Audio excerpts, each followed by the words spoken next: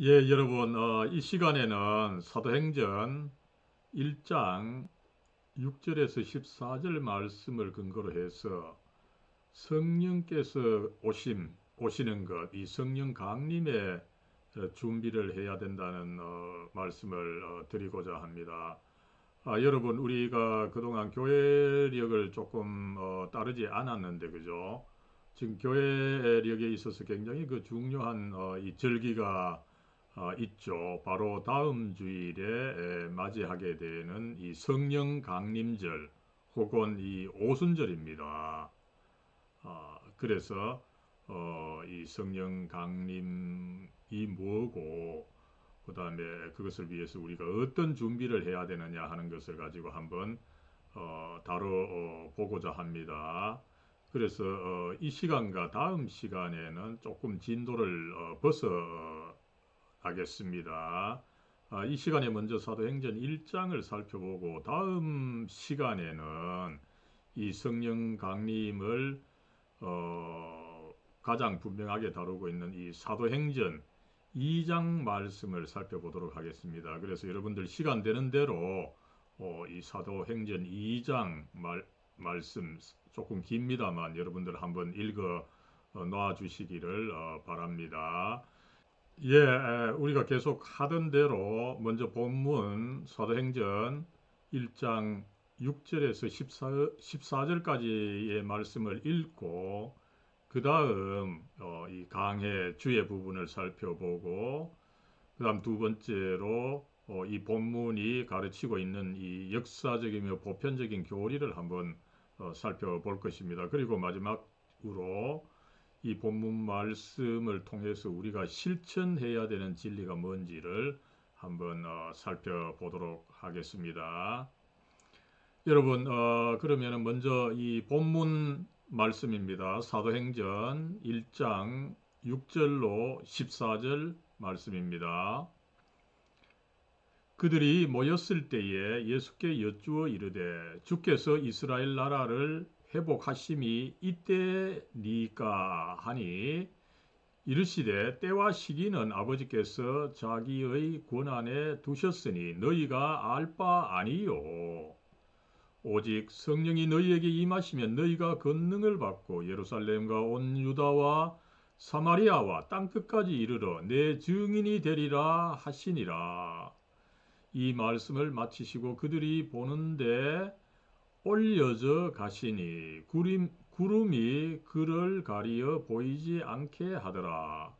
올라가실 때에 제자들이 자세히 하늘을 쳐다, 쳐다보고 있는데 흰옷 입은 두 사람이 그들 곁에 서서 이르되 갈릴리 사람들아 어찌하여 서서 하늘을 쳐다보느냐 너희가 너희 가운데서 하늘로 올려지신 이 예수는 하늘로 가심을 본 그대로 오시리라 하였느니라.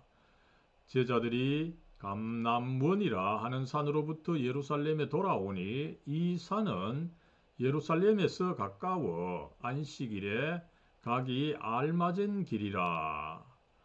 들어가 그들이 유하는 다락방으로 올라가니 베드로, 요한, 야고보, 안드레와 빌립, 도마와 바돌롬의 마테와 및 알페오의 아들 야고보, 셀롯인 시몬, 야고보의 아들 유다가 다 거기 있어. 여자들과 예수의 어머니 마리아와 예수의 아우들과 더불어 마음을 같이하여 오로지 기도에 힘쓰더라. 아멘. 예, 여러분, 어, 이, 이, 말씀의 그 행간에 이 숨어 있는 뜻을 찾는 강의 주, 주석을 한번 살펴보도록 하죠. 한 네 가지의 뜻을 어, 찾을 수가 있겠습니다. 첫 번째로, 여러분, 어, 이 제자들의 상태를 보면은, 이 제자들은 아직까지 예수님을 제대로 이해하지 못하고 있었지만, 그죠? 어, 그러나 그럼에도 불구하고 그들이 이 고난의 현장이었던 예루살렘에 함께 머물러 있었다라고 하는 것이 중요하다는 것을 우리가 아, 살펴볼 수가 있습니다. 여러분 먼저 어, 오늘 말씀 6절에 보면은 그죠? 어, 제자들이 이제 예수님께 여쭙는데 이 예수님은 어떤 예수님입니까, 여러분? 부활하신 예수님입니다. 부활하셔서 여러분 어, 예수님께서 어, 며칠간 사셨는지 아시죠? 예, 40일간입니다. 40일간 사셨는 사셨다가 이제 곧 승천하는 어, 장면이 오늘 말씀에 에, 나타나는 거죠. 그렇다면 여러분 우리가 기억해야 할 것이 사실은 예수님의 승천이 과연 언제였느냐 그죠? 여러분 지난 목요일이었습니다. 지난 목요일 그죠?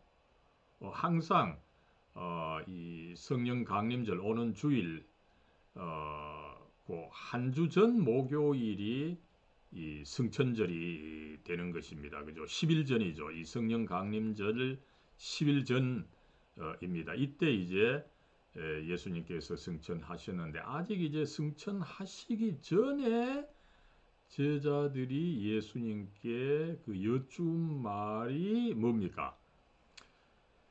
주님께서 예수님께서 이스라엘 나라를 회복하시는 것이 이때니까 그죠? 여러분 여기서 이스라엘 나라라는 것은 뭡니까? 그죠? 이 지상의 나라입니다. 그죠?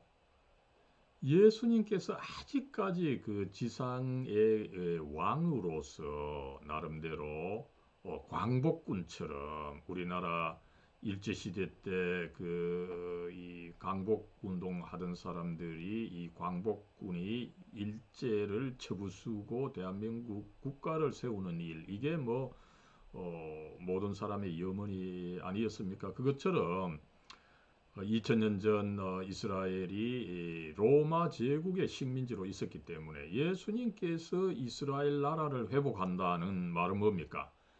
예수님께서 이제 부활하셨으니까 더 큰 힘을 가지고 로마군을 무찌르고 이제 이스라엘의 그 나라를 역사적인 나라 그죠?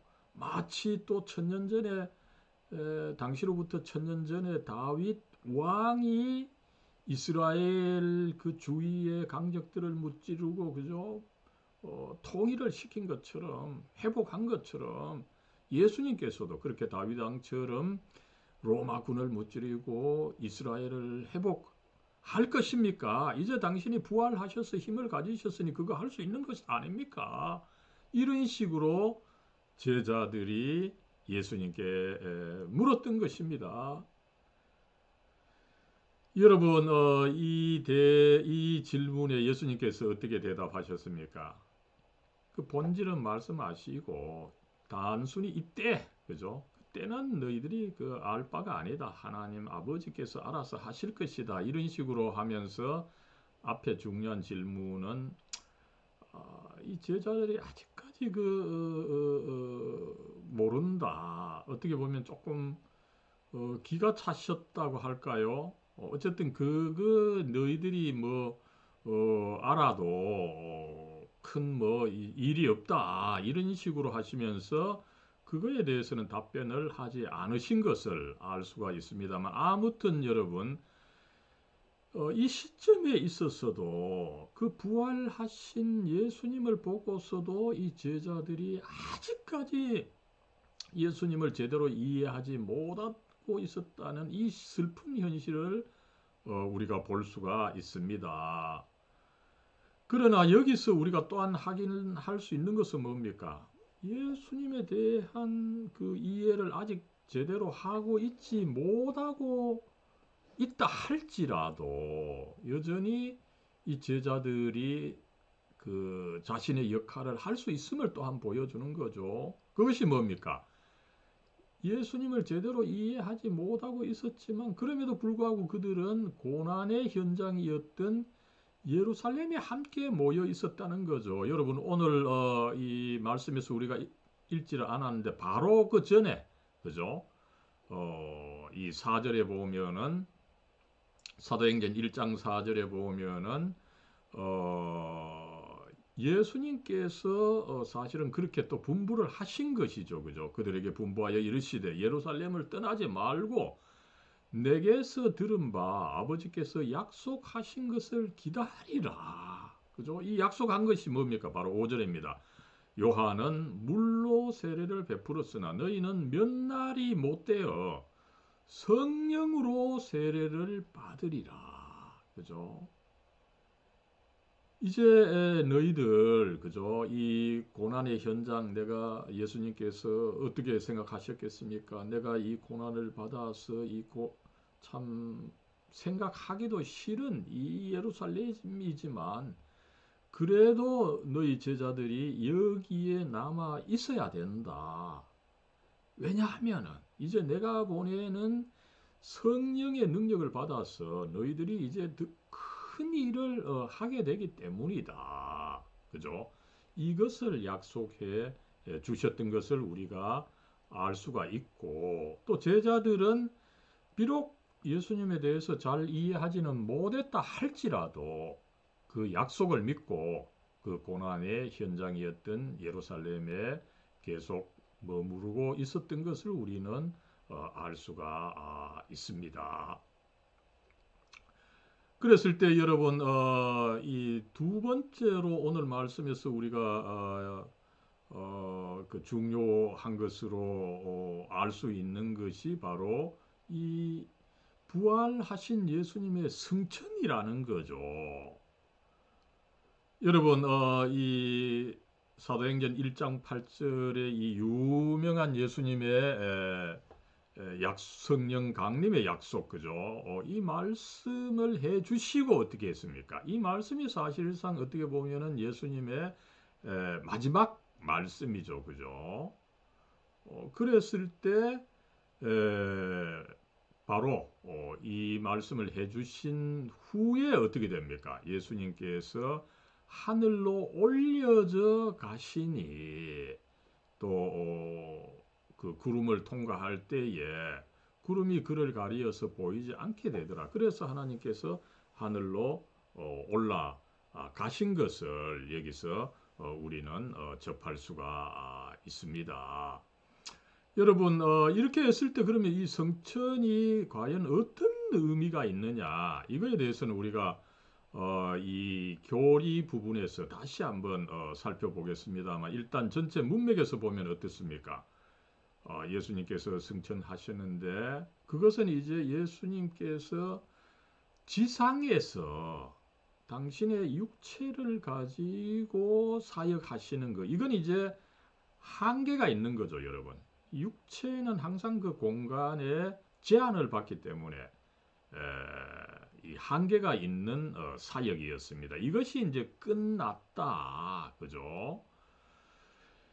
그래서 어, 여기서 이제 예수님께서 더 이상 이제 인간적으로 육체적으로는 사역할 수 없으니 이제 끝이 났다라고 할 때 이것이 어떻게 보면 또 어, 참 슬픈 일이 되겠지만 그러나 예수님 어떻습니까? 예수님께서는 항상 인간적으로 끝이 나는 데서 당신의 어떤 그 어, 정체성, 특별히 그의 신, 신적인 정체성이 나타나서 거기서 그 새로이 시작을 하는 것을 우리가 아, 알 수가 있죠.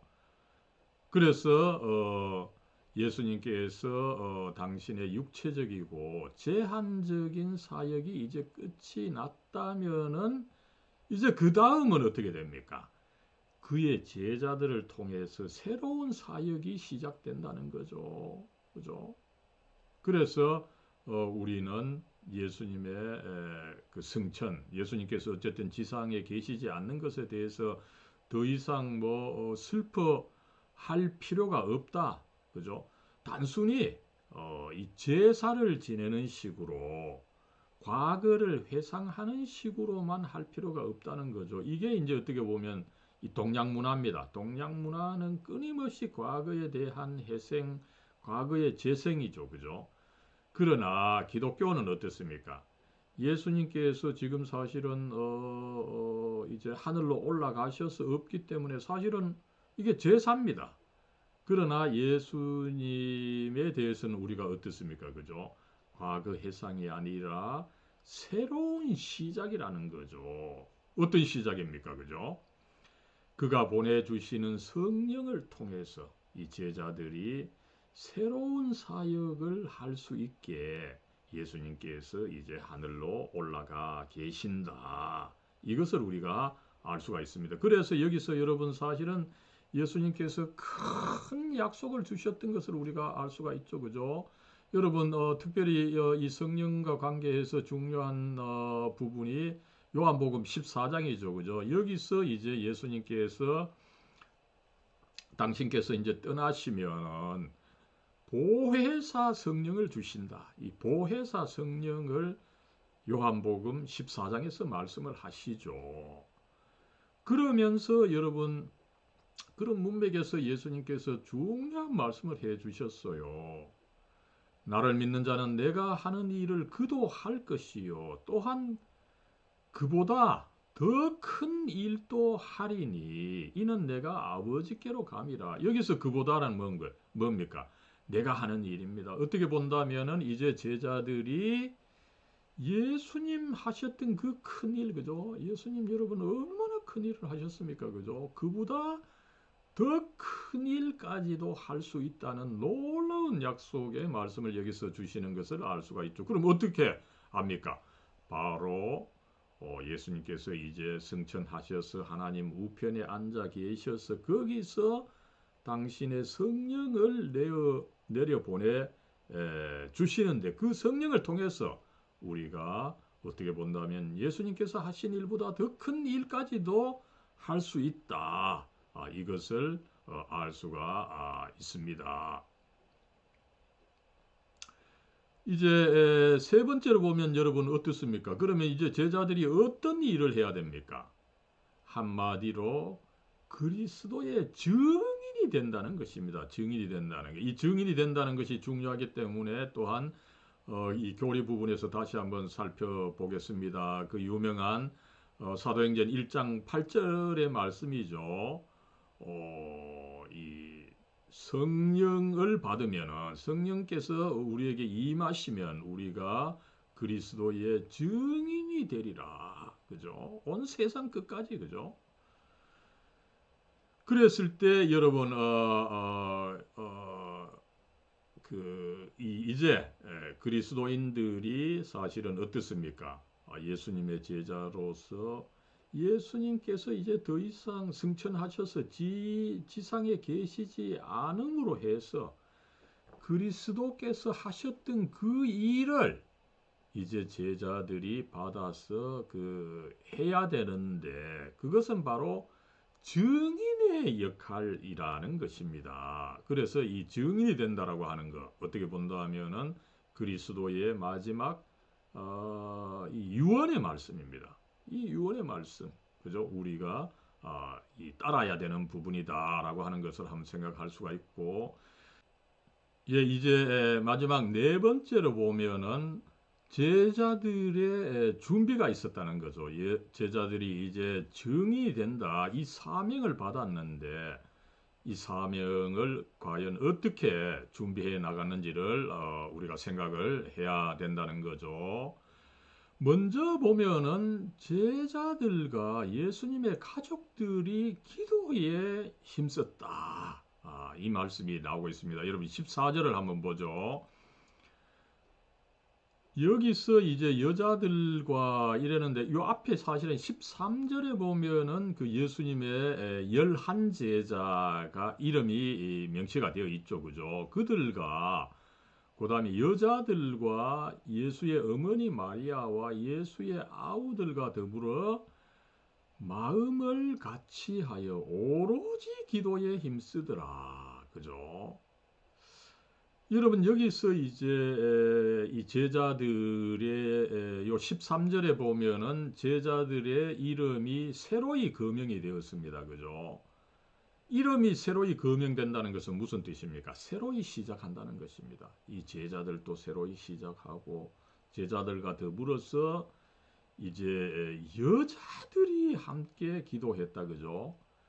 여러분 이건 참 놀라운 일입니다. 그 당시 여성들은 사실은 어떻게 본다면은 뭐 어, 죄송합니다만 오늘 날 기준에서 보면은 정말 이 어떤 어, 이 성차별 이야기입니다만 그 당시에는 여성들이 어떻게 보면은 어, 이 남성들의 이 어떤 뭐 거의 이 재산에 에, 가까웠고 그죠. 어쨌든 여성들이 굉장히 그 천대받는 어, 시대였습니다. 그런 시대에 어, 이 제자들 사도들과 여성들이 함께 또 기도했다. 그죠?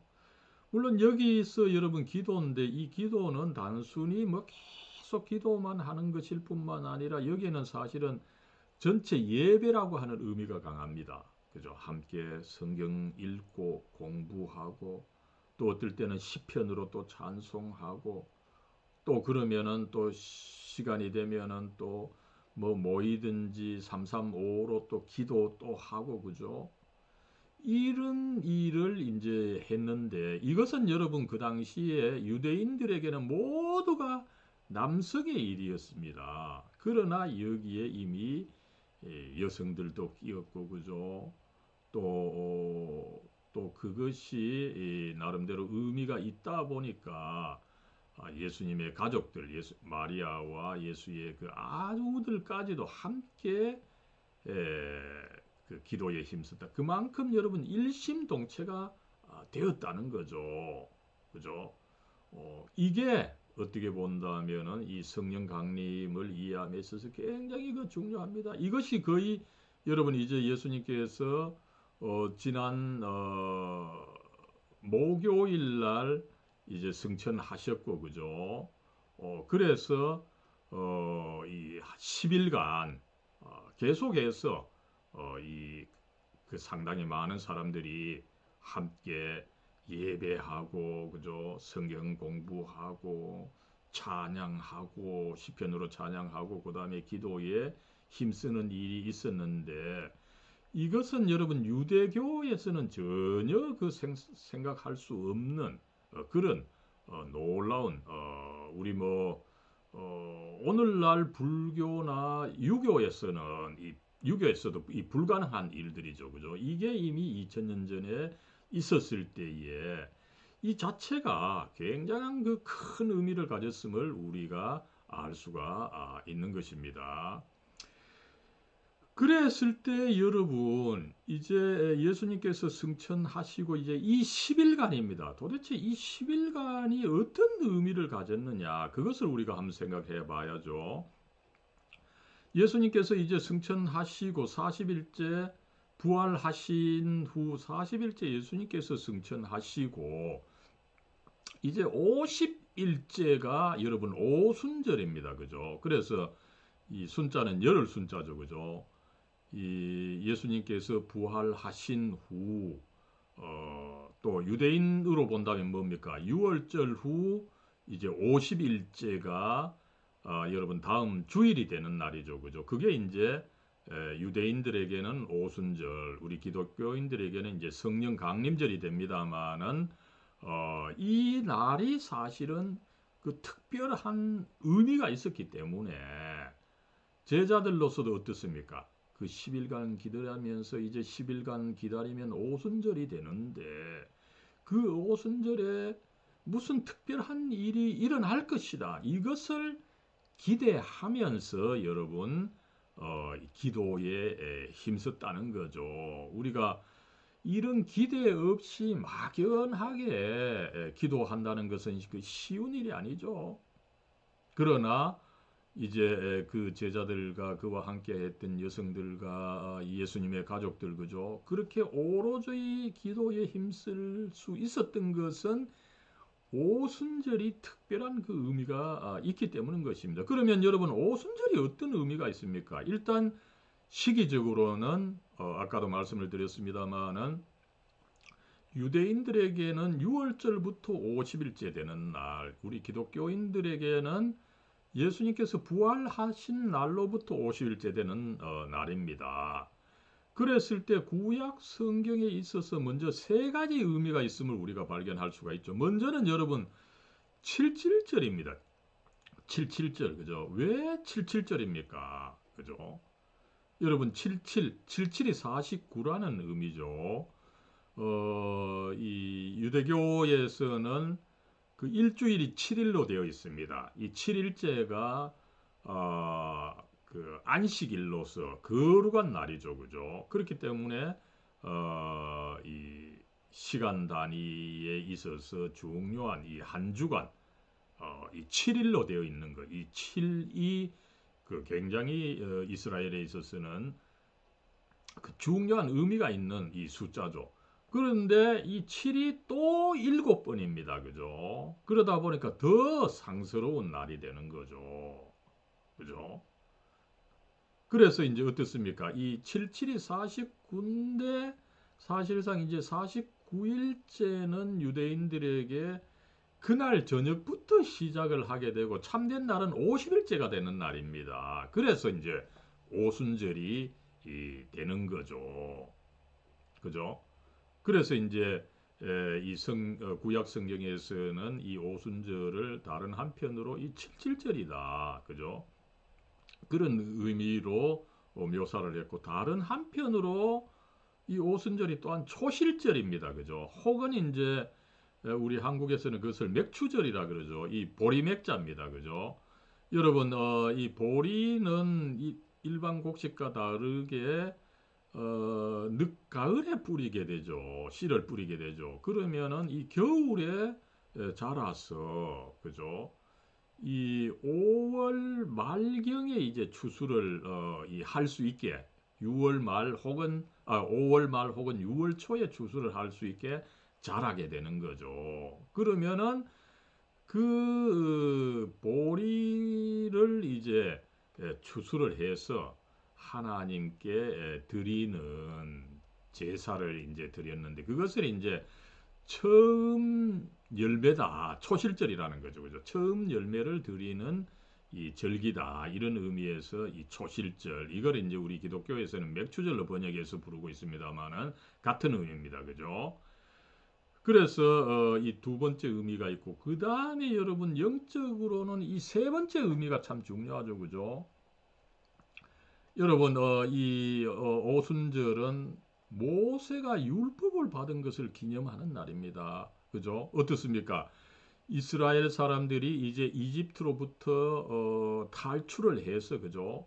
홍해를 건너고 이제 에, 광 시내 광야에 이제 간 거죠. 거기서 이제 40일 어 40일 어, 어, 어, 그 10일간 건너 어, 갔어. 그죠?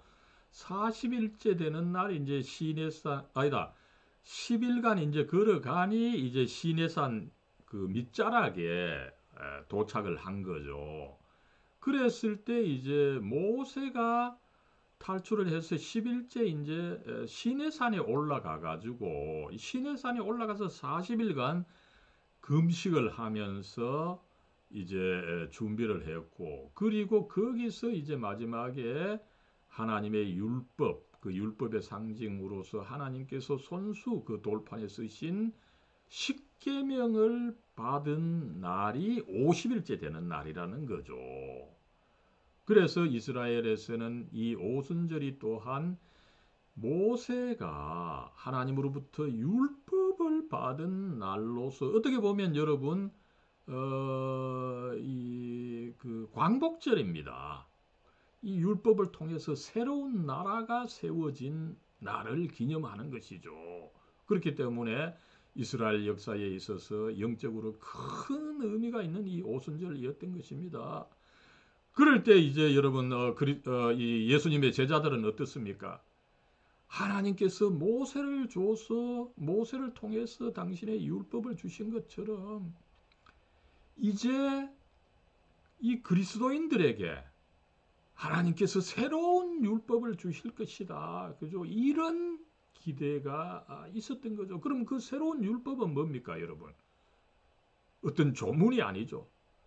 바로 우리의 양심을 강건해하고 양심을 주장하는 이 성령이라는 거죠. 이 성령을 주셔서 그 영이 우리의 어떤 그 법을 지배하는 그래서 그 어떤 법조문보다도 뛰어난 이 영을 성령을 우리에게 주신다는 것이 어쨌든 결과적으로 나타났습니다만 제자들이 이 상황에서 아직 그것을 확실히 이해를 못했지만 그러나 하나님께서 모세를 통해서 그렇게 율법을 주신 것처럼 우리 그리스도인들에게 이제 그리스도께서 계시지 않음으로 해서 율법을 이기는 새로운 그 무엇을 주실 것이다.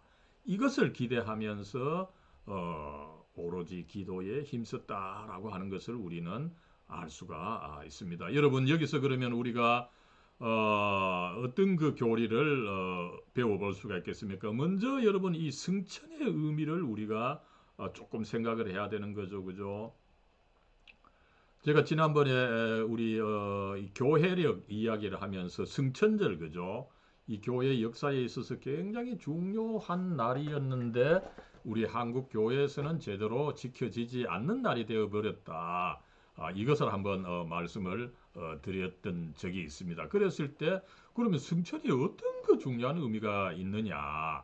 대략 한 그 세 가지를 찾을 수 있는데 이거에 대해서는 뭐 제 내 이야기를 하기보다는 어, 역사적으로 이 교회 특별히 뭐 장로교회가 아, 이 교리적인 표준으로 인정을 해온 이 하이델베르크 요리문답 제49문에서 나타난 이 승천의 의미를 한번 살펴보도록 하겠습니다. 먼저 여러분 예수님께서 이제 승천 어, 하셨다라고 할 때 승천하셔서 하나님 우편 하나님의 오른편에 앉아 계셔서 하나님의 오른손 역할을 한다는 거죠. 여러분 우리가 무슨 활동을 할 때 왼손보다는 오른손으로 이제 주로 씁니다. 그죠? 그랬을 때 이제 이스라엘에서는 오른손이라는 것은 어, 당연 뭐 어, 그저 막연히 어떤 좋은 생각, 좋은 법이 아니라 그거를 실행하는 거죠. 실행하는 것이 중요한데 그 실행하는 것을 오른손으로 하다 보니까 오른손이다. 이러면은 그것을 실행하는 어떤 정권자다. 이런 그 강력한 어, 의미가 아, 있는 거죠. 그랬을 때 하나님께서 승천하셔서 하나님 오른편에 계신다. 우편에 계신다. 이렇게 할 때 하나님의 오른팔처럼 하나님의 명령을 수행하시는 분이다. 아, 또한 나아가서 뭡니까? 오른편에서 특별히 우리를 위해서 변호해 주시는 분이시다. 중재해 주시는 분이시다. 이것을 어, 가르친다라고 하는 것을 우리가 알 수가 있고 그래서 여러분 어떻습니까? 이 로마서 8장 34절에 보면 그죠?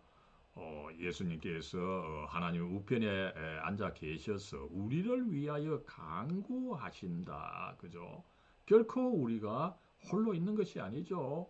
예수님께서 어, 승천하셔서 하나님 우편에 앉아 계셔서 우리를 위해서 어, 하나님께 전능하신 하나님께 그 강구해 주신다. 변호해 주신다. 중재해 주신다. 이것을 가르치고 있는 것을 알 수가 있고 그죠. 그 다음에 여러분 두 번째로는 예수님께서 이제 하나님 하늘에서 그죠 하나님 우편에 앉아 계십니다. 그죠? 그런데 그 예수님은 우리 신도들의 머리가 되어 있는 거죠. 그죠? 또한 교회의 머리가 되어 있는 거죠. 그러다 보니까 우리는 사실상 지상에 있지만 하늘에 계신 하나님 우편에 앉아 계시는 예수 그리스도의 몸의 지체로 있기 때문에 사실상 우리의 몸이 이미 하늘에 계신 예수님을 통해서 어, 이미 우리들의 몸이 하늘에 가 있다. 그죠? 그것을 확인해 주는 말씀이다. 이것을 하이델베르크 요리문답이 가르치고 있는 거죠. 그래서 여러분 어, 이 기독교는 단순히 내가 죽어서 뭐 하나님 품에 간다. 그죠? 이것만이 아닌 것입니다. 그것이 뭐 지금 안 되다가 갑자기 내가 죽어서 뭐 그렇게 된다 그죠? 어, 그래도 의미는 있습니다만 그러나 기독교는 그렇게 불완전한 것을 가르치는 것이 아니죠. 이미 내가 믿음을 가지면은 그 그리스 하나님 우편에 앉아 계시는 그 그리스도 몸에 내가 지체가 되는 것입니다. 그러다 보니까 믿음을 가진 사람은 이미 자기의 몸이 하늘에 계시는 그리스도의 몸에 접붙임을 당하고 그의 지체가 되어 있기 때문에 우리의 몸이 이미 예수님 몸에 그 붙어 있다. 이미 천국에 가 있다. 그죠? 그것을 어, 가르치고 있는 것을 우리가 아, 알 수가 아, 있습니다. 이 승천의 세 번째 의미로는 어떻습니까? 우리가 이제 그리스도의 지체가 되어 있을 때 그리스도께서는 그저 지체로만 뭐 가만히 붙어 어, 있도록 놔두시지 않으시고 여기에 대한 어, 떻게 본다면 상 상급 비슷한 것을 상을 어, 주신다는 거죠. 어떻습니까, 여러분? 우리가 그리스도의 몸에 붙어 있다면은 어떤 일이 있어야 됩니까? 그리스도 그리스도 이 우리 몸이라는 것은 항상 피가 돌고 또 피가 돌기 위해서는 이 호흡이 필요한 거죠. 그것처럼 우리가 그리스도의 몸에 붙어 있다면은 거기에 대한 대응책으로 예수님께서 성령을 보내 주신다는 거죠. 마치 어떻게 본다면은 그 몸이 온전하려면 피가 돌아야 되는 것처럼 이 성 그리스도의 성령이 와서 나 내게 이제 이 돌아감으로 해서 그리스도와 내가 그 한 몸이 되면서 어, 내 몸이 더욱더 살아나게 된다라고 하는 것을 어, 가르치는 거죠. 그래서 어, 이 하이델베르크 요리문답 제 49문은 이 어떤 대응 보증이다. 우리가 그리스도에게 붙어 있을 때 그리스도께서 가만히 계시지 않으시고 여기에 대응해서 그죠? 어, 상급으로 일종의 상급으로 우리에게 그의 성령을 보내 주신다. 그죠? 어, 그래서 어, 이런 점에 있어서도 여러분 왜 성령께서 예수님께서 하늘로 가셨을 때 오시게 되느냐? 예수님께서 뭐 지상에 어, 사실 때도 충분히 그렇게 되실 수가 있었죠. 그러나 아, 예수님께서 승천하시고 하나님 우편에 앉아 계심으로 해가서 어, 거기서 이제 예수님께서 당신의 영을 우리들에게 보내 주시게 됨으로 해서 이 성령 강림은 예수님 승천 후에 일어나게 되는 그 논리를 우리가 아, 이해할 수 있게 되는 것입니다. 여러분 그렇다면 이제 이 두 번째 가르침은 뭡니까? 이 성령께서 오시는 것을 이제 가르치는 거죠. 이거에 대해서는 여러분 어, 이 성령이 어떤 분이고 어, 그다음에 그 역할은 무엇인지를 어, 다음 시간에 더 본격적으로 어, 말씀을 드리도록 하겠습니다. 그러나 아, 아무쪼록 어, 오늘 말씀에서는 예수님께서 분명히 이제 당신께서 하늘로 올라가셔서 하나님 우편에 앉아 계시면 거기서 내가 성령을 내려 보내줄 텐데 그 성령을 너희들이 받으면은 어, 증인이 되되 너희들이 능력이 있어서 온 세상에 에, 나의 그 증인이 된다. 이것을 어, 약속을 해 주신 것을 우리가 어, 알 수가 있습니다. 또 그러면은 왜 또 성령이냐? 그죠? 여기에 또 말씀을 강조하는 사람들은 그죠? 어, 이 성경 말씀만 하면 다 되는데 왜 또 성령이냐? 성령이 있어서 왜 그렇게 혼란스럽게 하느냐? 그죠?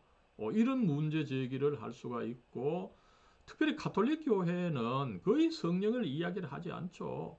이미 그 교회 조직, 그 교회의 리더로서 신부들이 이미 그 성령을 뭐 가지고 있는 것처럼 해서 따로 이 성령이 오시는 것에 대해서 가톨릭 교회는 거의 이야기를 하지 않을 정도로 어, 교회마다 이 말씀이나 교회를 강조하면서 성령을 강조하지 않는데 이것은 아니라는 거죠. 예수님께서는 분명히 에, 이 말씀도 있고 이 말씀이 능력이 있도록 성령께서 함께 해 주신다라고 하는 것을 어, 가르친 것을 우리가 알 수가 있는 거죠. 대표적으로 우리가 어, 데살로니가 전서 1장 5절에 보면은 이는 우리 복음이 너희에게 말로만 이룬 것이 아니라는 거죠. 여러분 말이 사실은 참 중요합니다. 그죠? 능력이 있습니다. 그러나 여러분 말로만 으로는 안 되는 거죠. 우리가 평소에 그렇습니다. 그죠? 평소에 뭐 말 잘한다고 생각하고 그 말이 이 설득력이 에, 있지만 그것으로서 남을 설득할 수 있는 것은 아닙니다. 거기에 분명히 이 성령의 역사가 함께 있어야만 어, 보다 더 효과적으로 어, 설득을 어, 하고 전도를 할 수 있음을 우리가 알 수가 있는 거죠. 그래서 어떻습니까? 말로만 이런 것이 아니라 또한 능력과 성령과 큰 확신으로 된 것입니다. 그죠? 그래서 어떻습니까? 너희 가운데서 어떤 썸바디가 됐다는 거죠. 그죠?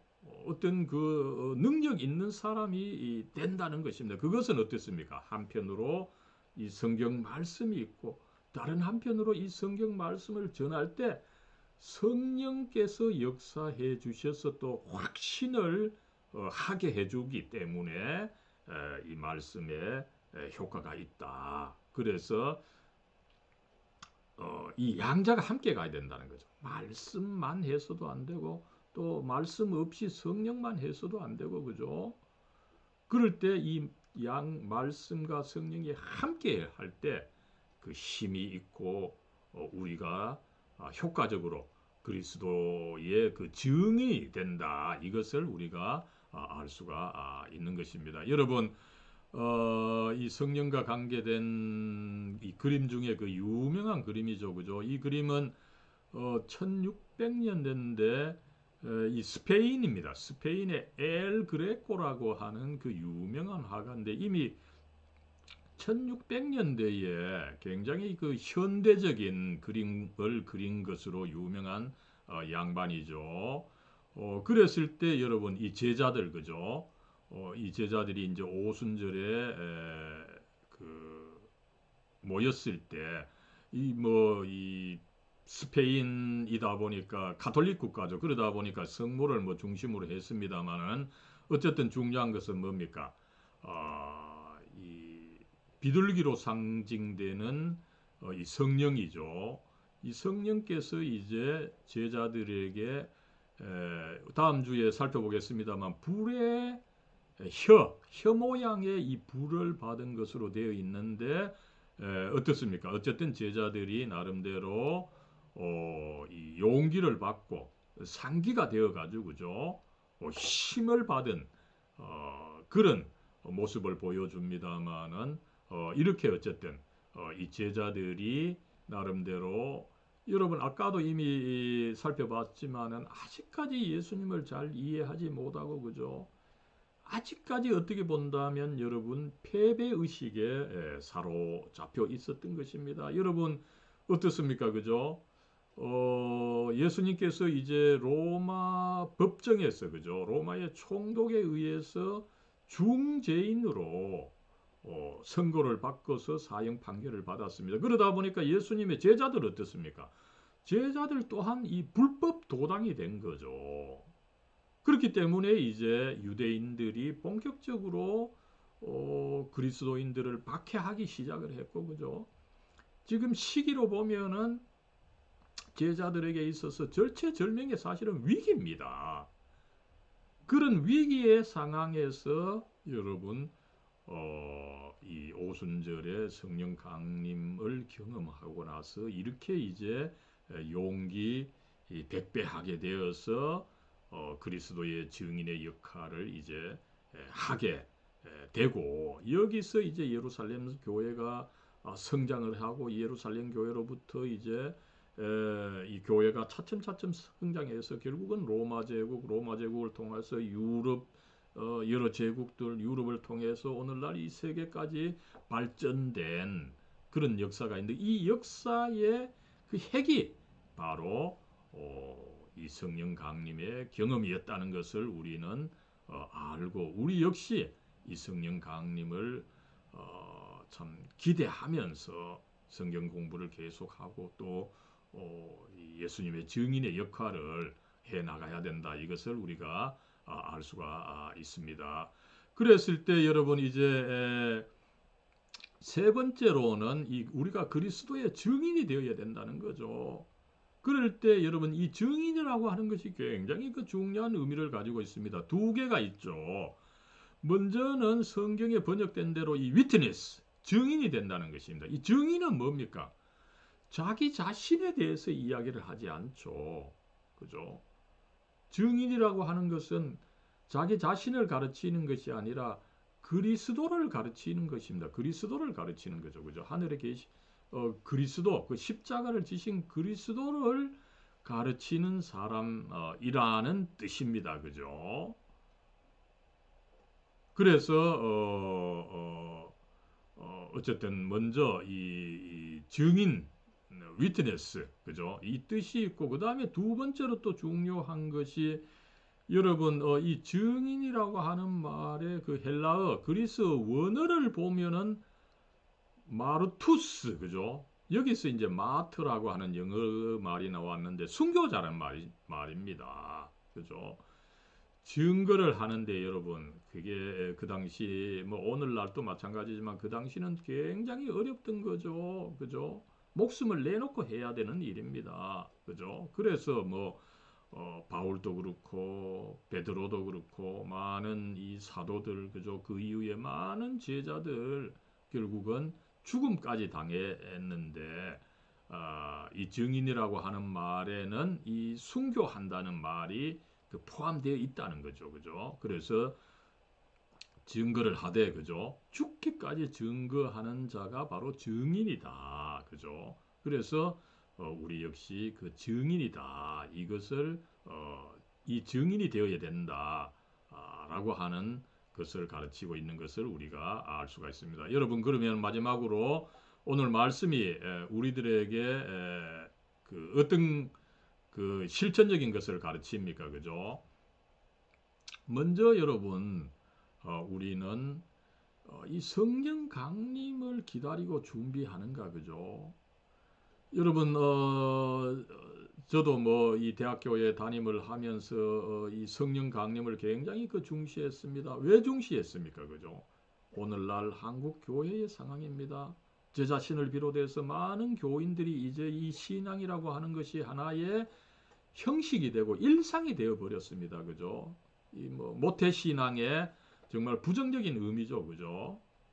어, 그러다 보니까 우리의 마음이 메말라 있고 그죠? 우리의 마음이 풍성하고 좀 불이 타야 있어야 되는데 우리 자신이 메말라 있습니다. 그죠? 메말라 있으면 어떻게 됩니까? 아, 메말라 있는 나무는 결코 열매를 맺을 수가 없는 거죠. 그죠?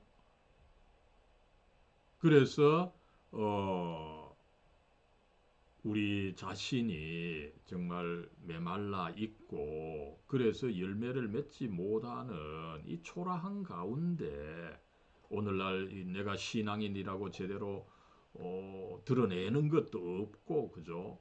어떻게 본다면 이 신앙에 대해서 초라하게 생각하고 있는 많은 교인들이 있습니다. 그죠?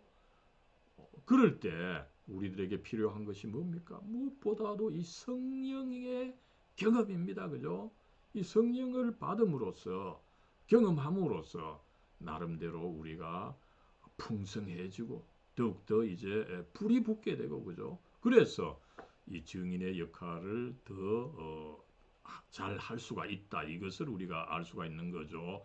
그랬을 때 여러분 이제 두 번째로는 뭡니까? 어, 이 나는 참 증인이 되고자 하느냐, 그죠? 두 가지 의미를 다 생각해야죠. 우리가 아, 증인이 됨에 있어서 자꾸 내 자신을 가르쳐서는 안 되는 거죠. 그죠? 내가 그리스도를 참으로 가르치고 있느냐. 그죠? 그리스도를 참으로 가르치고 있느냐. 내가 아니라 그리스도를 가르치고 있느냐. 이것을 살펴보고 그 다음에 또 나아가서 어떻게 됩니까? 아, 그렇게 증인이 됨에 있어서 혹시 내가 죽더라도 죽기까지 예, 끝까지 예수님에 대해서 증, 증, 증언을 어, 할, 하고자 하느냐, 그죠? 이것을 한번 어, 점검을 할 수 있는 어, 이 좋은 어, 때가 되었으면 좋겠습니다. 아무쪼록 여러분 이제 오는 주일이 성령 강림절입니다.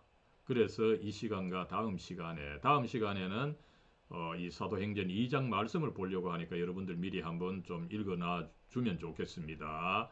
아, 그래서 어, 우리가 이 성령 강림을 제대로 준비하고 또 이 성령 강림을 또 나름대로 작게나마 경험해서 어, 우리가 새롭게 되고 그죠 힘을 얻어서 어, 이 그리스도의 그 증인이 되는데 더욱더 어, 정진할 수 있게 되기를 간절히 바랍니다. 사랑과 은혜와 진리로 충만하신 하나님, 저희들 계속해서 이 코로나 사태 여러 가지 답답하고 힘들지만 그럼에도 불구하고 이 성경 교리 설교 과목을 통해서 계속해서 어, 주님의 말씀을 공부하고 이것을 또 설교로 또 어, 증언함에 있어서 어떻게 해야 되는지 어, 배울 수 있게 해주시니 참 감사합니다. 이제 어, 전능하신 하나님 다음 주 일이 이 성령 강림절인데 하나님 저희들 자신 참 너무나 메말라 있는 것을 어, 한번 반성해 봅니다.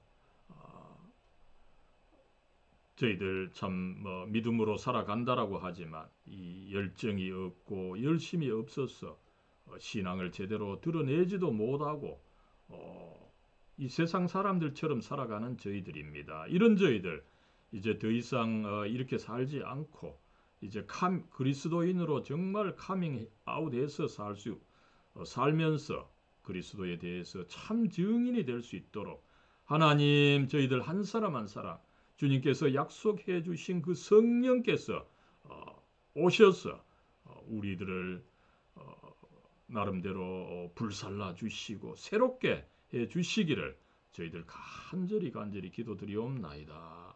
우리 주 예수 그리스도의 이름으로 간절히 기도드리옵나이다. 아멘.